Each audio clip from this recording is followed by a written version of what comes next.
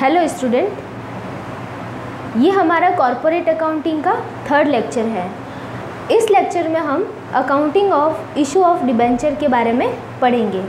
मैंने issue of debenture के बारे में आपको इंट्रोडक्शन और इसकी कैरेक्टरिस्टिक्स और इसके टाइप्स और ये शेयर से किस तरह डिफरेंट है, ये मैंने आपको समझा दिया है। अब हम इसकी अकाउंटिंग के बारे में पढ़ेंगे। अकाउंटिंग में कि डिबेंचर कैसे इशू किए जाते हैं और इसकी कंपनी की बुक्स में कैसे एंट्रीज की जाती हैं, उसके बारे में अभी हम डिस्कस करेंगे, ठीक है? डिबेंचर बिल्कुल वैसे ही इशू किए जाते हैं, जैसे कि शेयर इशू किए जाते हैं। बस इनके टर्म्स थोड़े से क्या हो जाते हैं चेंज हो जाते हैं। जैसे अपन शेयर इशू करते हैं तो हमें प्रॉस्पेक्टस इशू करना पड़ता है, और प्रॉस्पेक्टस इशू करने के बाद में हम शेयर की अमाउंट को पूरा एक साथ में या फिर इंस्टॉलमेंट में ले सकते हैं। और जब भी इनकी अमाउंट इंस्टॉलमेंट में ड्यू होती है तो वो इंस्टॉलमेंट कैसे बनेगी? Application allotment first call and final call ठीक है? तो बिल्कुल एग्जैक्ट वही मैनर किसके लिए यूज़ करेंगे? डिबेंचर के लिए यूज़ करेंगे। बस इनका डिफरेंस थोड़ा सा टर्म्स में चेंज हो जाएगा। अब जैसे कि मैं आपको बताती हूँ application allotment first call and final call ये बिल्कुल वैसे ही होंगे जैसे कि शेयर्स में होते हैं। बस अब डिफरेंट ये है कि जब हम शेयर इशू करते हैं तो एप्लीकेशन की एंट्री क्या करते हैं? Bank account debit to share application ठीक है? ये एंट्री हम क्या करते हैं? शेयर के टाइम पे करते हैं। अब हम डिबेंचर के टाइम पे क्या एंट्री करेंगे? सेम ऐसे ही बैंक अकाउंट डेबिट टू इस बार शेयर एप्लीकेशन नहीं लिखेंगे। इस बार क्या लिखेंगे? डिबेंचर एप्लीकेशन लिखेंगे। ठीक है? तो ये डिबेंचर एप्लीकेशन तो बिल्कुल आपने देखा कि वैसे ही बिल्कुल एंट्री होती है, जैसे किसमें होती है? शेयर में होती है। ठीक है? अब मैं आपको इसकी एक टेबल के थ्रू पूरा बता देती हूँ कि जहाँ पे हम share application share allotment first call और फाइनल कॉल ऐसा लिखते हैं। उसकी जगह हम लिखेंगे debenture application allotment first call and final call ये हम इसमें नाम क्या जोड़ देंगे? Debenture application allotment debenture first call debenture final call ठीक है? ये बिल्कुल वैसे ही होगा जैसे शेयर के लिए होता है। अब हम जो एप्लीकेशन की, ये तो फ़र्स्ट एंट्री है। इसकी सेकेंड एंट्री क्या होती है? Share application account debit to share capital ये इसकी क्या होती है? सेकेंड एंट्री होती है। तो वहाँ पे तो हम क्या लिखते हैं? शेयर एप्लीकेशन अकाउंट डेबिट और टू में क्या लिखते हैं? Share capital. अब यहाँ पे हम क्या लिखेंगे? Debenture application account, debit. और टू में क्या लिखेंगे? Share capital. नहीं, शेयर कैपिटल नहीं लिखेंगे। हम क्या लिखेंगे? टू में, टू डिबेंचर। ठीक है? कैसे? देखो, जैसे मैं यहाँ पे लिख रही हूँ, शेयर कैपिटल। मतलब जहाँ जहाँ वर्ड शेयर कैपिटल यूज़ हो रहा है, वहाँ पे अब वर्ड क्या यूज़ होगा? Only debenture. ठीक है? समझ में आ गया? अब ये तो वो हो गया।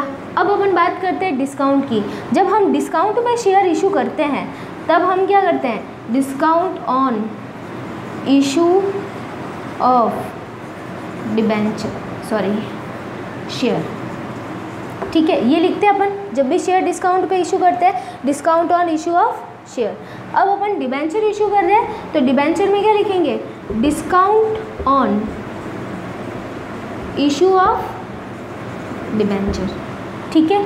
तो ये चेंजेस हैं इन दोनों में इशू करने में। तो बिल्कुल एग्जैक्टली वही मैनर वही वे यूज़ किया जाएगा, जो किसके लिए यूज़ करते हैं? शेयर के लिए यूज़ करते हैं। ठीक है? अब आपको ये भी बात ध्यान रखनी होगी कि हम जो डिबेंचर वर्ड लिखते हैं, उसके आगे डिबेंचर का जो भी परसेंटेज इंटरेस्ट का हो, वो भी उसके साथ में लिखा जाता है। ठीक है? अब ये तो बात हो गई एंट्रीज़ की। अब इसके अलावा एंट्री में बहुत सारी चीज़ें आ रही, आती है। जैसे आपके दिमाग में आ रहा होगा कि मैम फ़र्स्ट ये calls in arrear calls in advance इनका क्या करेंगे? क्या वो वाली एंट्री भी होती है इसके अंदर? हाँ जी, बिल्कुल। वो वाली एंट्री भी इसके अंदर होती है। मतलब जो कॉल्स इन एरियर जो कॉल्स इन एडवांस वो इसमें भी एज इट इज़ वैसे ही ट्रीट होंगे, जैसे कि किसमें होते हैं? शेयर में होते हैं, ठीक है? अब मैं आपको समझाती हूँ बिल्कुल कि वो कैसे होंगे ट्रीटमेंट उनका।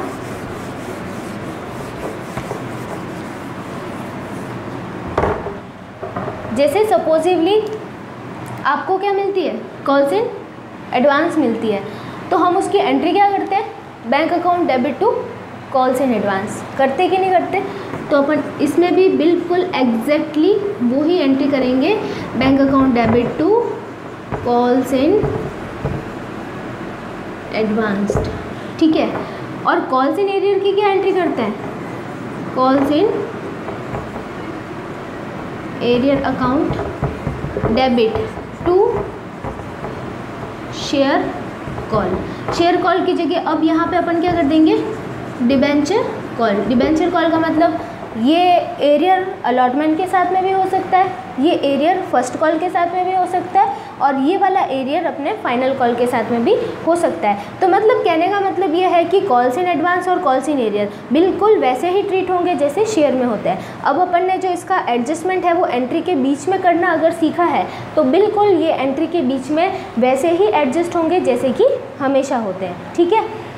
अब अपन, ये दोनों टर्म तो हो गए कॉल्स इन एडवांस और कॉल्स इन एरियर अब अपन एक नया जो है बात, वो है सिक्योरिटीज़ प्रीमियम अपन शेयर प्रीमियम पे भी इशू कर सकते हैं। सौ रुपये का शेयर है 110 में 105 में 115 120 वैसे इशू कर सकते हैं। इसी तरह डिबेंचर भी प्रीमियम पे इशू कर सकते हैं। वो प्रीमियम भी बिल्कुल वैसे ही होगा, जैसे सौ रुपये का डिबेंचर है, दस रुपये का प्रीमियम है, पाँच रुपये का प्रीमियम है, पंद्रह रुपये का प्रीमियम है।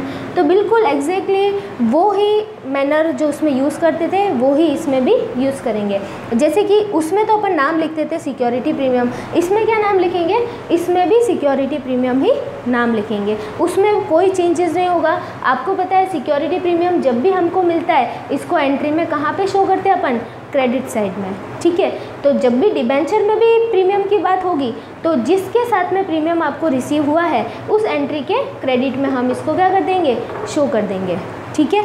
तो ये आपके क्या है? Accounting of issue of debenture है। मतलब समझ में आ गया? बिल्कुल शेयर की तरह है। इसमें कोई नया कॉम्प्लिकेशन नहीं है। बिल्कुल application allotment first call final call वैसी ही एंट्री होगी, जैसे शेयर में होती है calls in arrear and calls in advance भी बिल्कुल वैसे ही एडजस्ट होंगे, जैसे कि शेयर में होते हैं। और रही बात सिक्योरिटी प्रीमियम की तो सिक्योरिटी प्रीमियम का नाम सिक्योरिटी प्रीमियम ही रहेगा और ये भी वैसे ही एडजस्ट होगा, जैसे कि हमेशा होता है, ठीक है? तो अब आपको accounting of issue of debenture समझ में आ गया होगा। अब इससे रिलेटेड जो प्रैक्टिकल क्वेश्चन है, वो अपन नेक्स्ट लेक्चर में करें